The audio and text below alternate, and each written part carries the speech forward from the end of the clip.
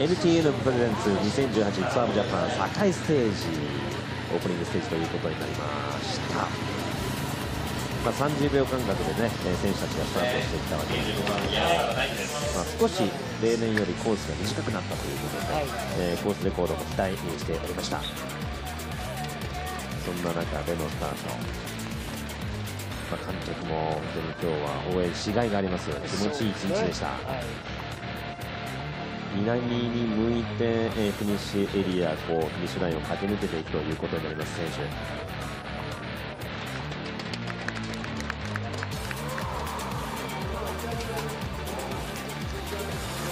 まあ、本当に早々に3分10秒台が出ました、そうですね。3分10秒を切る選手がいるかなと思ったけど、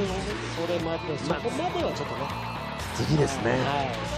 でもちろん選手も進化しますし機材も進化していくわけですから来年も同じようなコンディションで、えー、よりちょっと風向きも変わってくれば、はい、もしかすると出るかもしれませんね。そしてこちらが優勝したイワン・ビビーのフィニッシュシーンですね。ですねはい、3分中に0-0をマークしていました。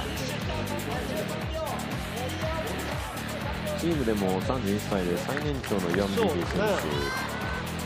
今までそんなにあの目立った戦歴もなかったんですけど。そうですよね、はい、この辺りやっぱ油が乗ってるあ経験値が豊かなんでしょうかね、はい、その前に入っていたオリバー・ウッド選手ですよね、まあ、ですからこの JLT コンドールイギリスは上位に 3, 2人入っていたんです、上位3名中2名が JLC コンドールということになっていました